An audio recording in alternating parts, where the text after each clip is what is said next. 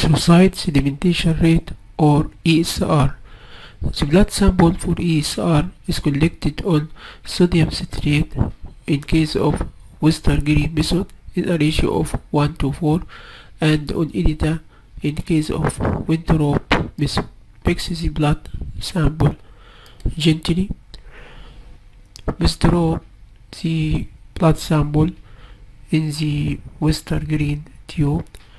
After adjusting the blood sample to zero level, the excess of blood on the outer surface of the pipette is wiped and then the tube is fixed in the Westergren rack.